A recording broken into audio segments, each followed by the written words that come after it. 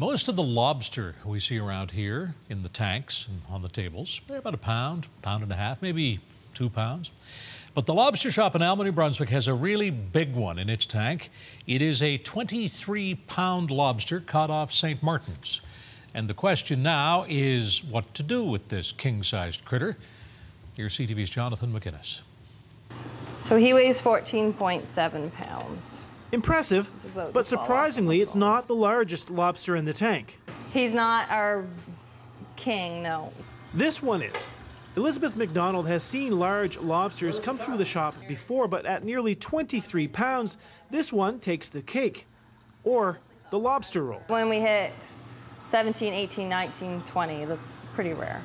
It's so big that this three pound lobster is only about the size of one of the claws.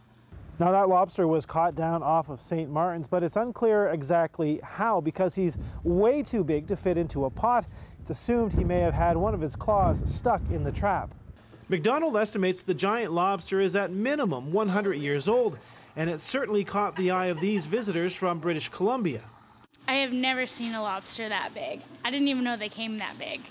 At about $11 a pound, this giant would cost close to $230 but it's unclear if it's up for sale.